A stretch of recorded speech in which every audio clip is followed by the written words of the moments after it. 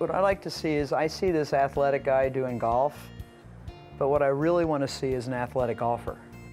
So this is what I want to show you. You know, going back doesn't look so bad. You know, that, that doesn't, that's pretty good. But when you come through and you have your move through, not bad. And as, as you're starting your downswing, pretty good drive. Now that's looking pretty good. But watch what happens right here. As you start to come in and look at your arms, look how everything all collapses. All right, that's a problem. So when it collapses, that causes you issues. And you know why you do that? Keep my hands inside the baseball, maybe. Pull in. Yeah, you're batting. Yeah. You know, golf, it's not batting. Yeah. It's throwing. Yeah. All right? So when you bat, you got a heavy bat, mm-hmm. ball coming at you at high speed. All they have to do is connect. Yep. Yeah. And you're good. Yep. And throwing the ball is dead. So what do you have to do? You got to step into it. Mm-hmm. You know, you've got to create the energy. In golf, it's the same way.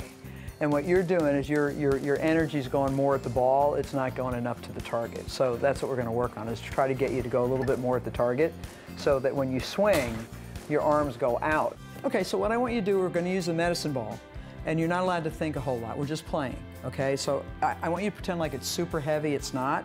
And we're just going to throw it into the trampoline. And when you throw it in the trampoline, I want you to just go ahead and throw it and just catch it. I want you the whole front of you to face where you're going.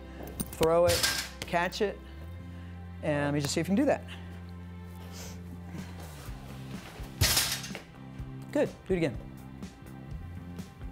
Okay, so now what I want you to do is I want you to throw it, catch it, go right in the backswing, throw it, catch it, just keep going back and forth and see how you do with that.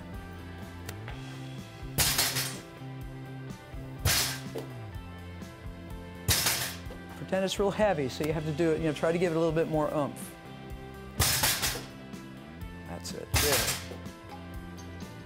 Good. So you notice what your arms are doing? Everybody, all the energy is going out toward the target. Mm-hmm.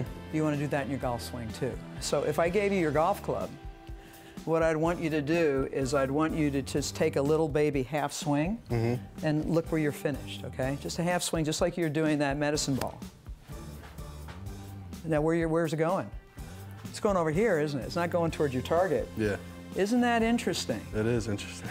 So what you're just doing is you'd be throwing the medicine ball that way. Mm-hmm. In, in your golf game, that's either going to be a pull or a slice. yeah. That's not going to Okay? be good. Exactly. exactly. So let's see if you can get yourself to go more toward the target. There you go. Just kind of like that. Yep. There you go. That's your move. So what I would, what I'd want you to do is we go out on the field. You're going to do some practice hits to start doing these little half shots. Mm-hmm. If you finish with your club pointed out to the target and the front of you is pointed there, the ball ought to go there. But if you happen to notice your arms are over here Yeah. and your belt is over there, we got a problem. And that's going to add either some curve to it or you're going to pull it.